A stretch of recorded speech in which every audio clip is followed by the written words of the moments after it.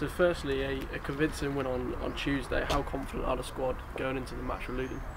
Yeah, obviously, um, there's always a general feeling of confidence going through the um, within the lads, and um, you know it's another game that we've got to we've got to go and take three points.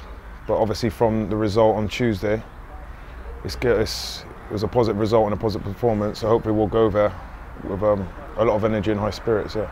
How important is it for the club to take maximum points from teams like Luton that are in and around yourselves because you're both going for promotion, hopefully? Yeah. Is it to, to get an advantage on them? Yeah, obviously. Um, as I said that this morning to someone, I don't know if, if you'd rather play, you know, sort of the teams around you because even though there'll be tougher games, obviously the stakes are a lot higher with regards to the points because you can sort of leapfrog them, and then obviously that's a game, another game chalked off, and you you can you can go above them. So obviously it's massively important. Really, I think Luton's a real big one for both sides really, and they'll we'll be targeting it as a sort of a must-win really, definitely. You anticipate anticipating it to be similar to the, the Portsmouth match where it was it was tough. It was a, a one 0 win, but you really had to dig deep and really grind it out. Do you think it'd be similar? Um, I can't see into the future, but obviously it'll be a tough game. Of course, like I said, we're we're similar to us. We're, we're in and amongst it.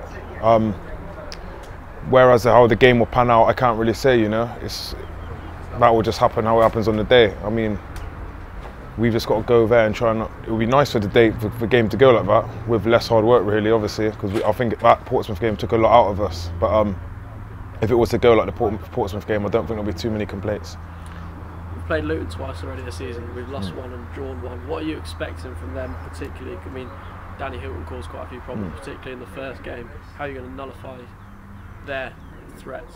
Yeah, well, of course they're um, they're a good. They've got a good squad and a good side, which is proven which is proved and backed up by their performance in the league uh, thus far. So I know they're, they're, set up well. They've got solid players, and obviously they've got threats going forward.